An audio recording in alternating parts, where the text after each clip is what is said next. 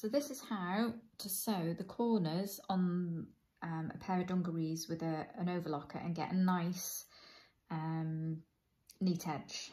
Okay, so I've already started sewing. These are the Over tools by Made by Jack's Mum. I'm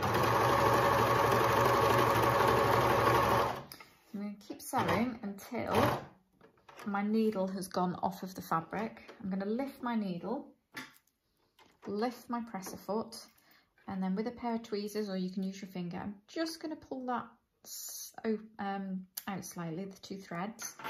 And then you can pull your fabric off of the stitch fingers and then just turn it at a 90 degree angle and then place your presser foot down and then you want your needles to start just on the edge of the fabric. Okay, and then you can just start sewing. And again.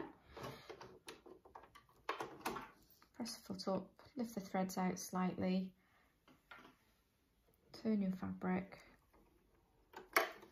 And place your